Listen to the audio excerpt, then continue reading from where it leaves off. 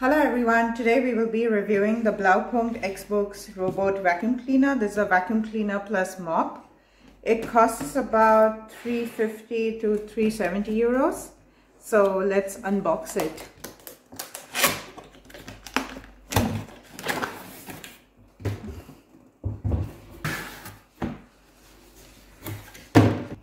So let's see the contents of the vacuum cleaner. It consists of the vacuum cleaner itself, of course, the user manual. It comes in English, French, German, also Dutch, Spanish, Italian here. Then this is the vacuum cleaner itself, the main part.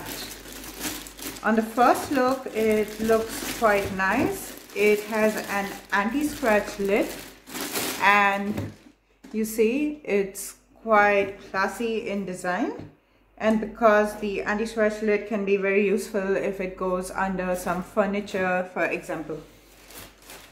It has four side brushes, two extra brushes which come with it, one cleaning brush as well. And if you see below the vacuum cleaner, it has a main brush which is V in shape for better cleaning. And also because when it goes on carpets or irregular surfaces, it's more useful. Also, it's very nice to clean pet hair then on the other hand, we also have the mop tank itself. Since it's a mopping function as well, we have a water tank which is of about 350 ml, the mop cloth. So this has a velcro function which you can easily remove and put. They also have given an extra mop cloth just in case we need it. So it's removable, so very well washable. We also have a remote control to extra batteries for this where we can control our vacuum cleaner. It has different functions, edge cleaning, spot cleaning, normal cleaning for example, and we can also control it manually. Other than this, in the box is the charging station of course. So the charging station, as you can see, is quite small. The charging station is quite small, which I really like. This is in contrast to some really bigger ones. It can easily fit under your bed or your sofa, for example. There are charging cables as well. So they have given the US charging cable as well as the European one, which is really nice and handy. Other than that, what I really like is this magnetic strip if you just lay out the strip, straighten it out, the vacuum cleaner cannot cross this particular area. So if you want to confine your vacuum cleaner to a particular area, just lay the strip out and your vacuum cleaner will not cross this area.